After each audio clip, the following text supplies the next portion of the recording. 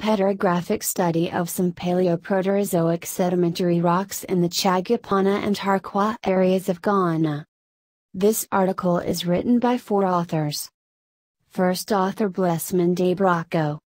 Second author Gordon Foley. Third author Chiriema Joe. Last author Simon K. Waigatu.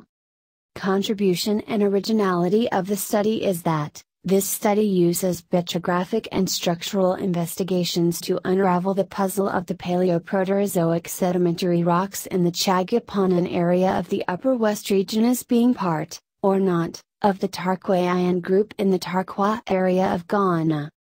This study geologically compares conglomerate and sandstone units in the Chagupana area of the Upper West region and the Kawere conglomerate and Kawere Huni Banket sandstone units in the Tarkwa area of the Western region in Ghana. Some work in the area has over time proposed that rocks from the two areas as similar based on only field relations, hence the need for more detailed work for reclassification. Macro and microscopic studies of the composition, mineralogy and texture of the rock types reveal that the conglomerates in both areas are metamorphic class units, greenish-gray, polymictic, foliated and texturally immature.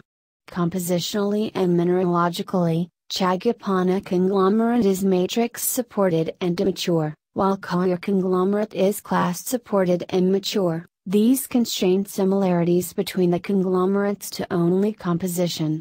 The sandstones from both areas have similar mineralogical compositions, but with decreasing feldspar in the order of Chagapunahuni Banket. Texturally, all the sandstones are submature, well indurated and angular rounded, except the Huni sandstone, which is fine to medium grained, while the other sandstones are medium colorous grained. Based on the feldspar contents, the Chagupana, Huni, Banket and Kawere sandstones classify as gray-wacke, feldspathic arenite, sublitharenite and subfeldspathic feldspathic arenite, respectively. The gray-wacke and sandstones have the same cementing materials as quartz, sericite and chlorite. Concluding, the Chagupana rocks are not entirely the same as those from the Tarkwaian group, probably due to differences in provenance. Thanks for watching this video of International Journal of Geography and Geology Volume 9 Issue Number 1.